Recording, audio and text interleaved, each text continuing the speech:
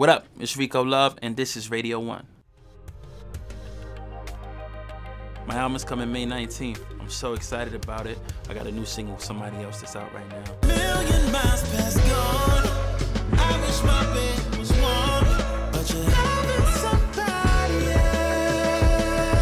Excited about making music that's really an honest depiction of who I am as a person. Um, Turn the Lights On is the title, and the lights represent money and success and fame and all these things that happen. And basically, it's a story of what happened to me when I started making money.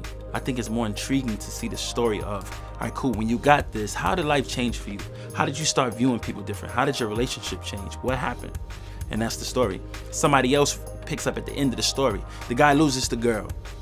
He gave her everything she wanted monetarily. He spent all this money on her. He flew, took on trips and all this. But now she's loving somebody else. Why?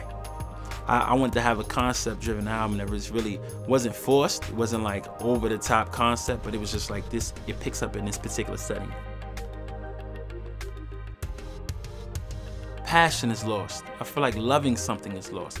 Uh, artists evoking emotion, that's lost. At the end of the day, I've done what I've done as a songwriter, but as an artist, when you get on stage in front of people who are not familiar with your background, they don't care nothing about how much money you got. They don't care about how many songs you've written. I want to be respected as an artist, an entertainer, an executive.